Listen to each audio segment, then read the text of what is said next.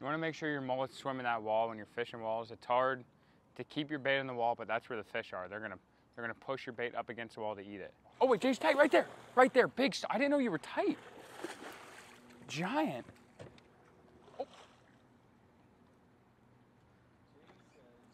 That's a giant, Jay. Look at that thing's head. Oh, he ate the remote. He ate the remote? All right, Jay just caught this fish. Such a giant. Oh, wait, he's tagged. Are you kidding? I didn't even see that. This snook's tagged. Oh, What's that Oh, yeah. So, so somebody tagged this fish, who knows how long ago, but they've been doing research on it.